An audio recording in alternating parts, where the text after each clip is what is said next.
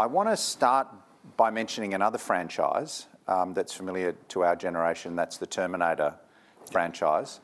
I watched Terminator and Terminator 2 with my 15 year old in the last couple of weeks as research for this event. Um, and that did leave me a bit feeling a bit negative yeah. about the rise of the machines. On the other hand, you have the techno optimists who say that this technology is going to transform everything, make it better, end scarcity and hunger and poverty and all these sorts of things. So, maybe just at the beginning, what's your level of optimism or pessimism about this technology? I'm not sure I accept um, either argument. Um, my, my, approach has always been about Australians' agency to shape the future ourselves.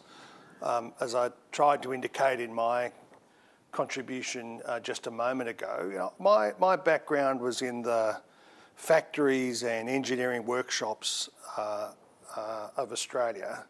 And, and what you saw was not a blue collar workforce who were just acted on by the technology, they were fascinated by the technology. They shaped its application uh, in workplaces. So you want to see Australians step up. Uh, uh, there's a role here for government, but it's also about our businesses and our social institutions becoming more able, uh, more engaged, um, and, uh, and about Australians themselves.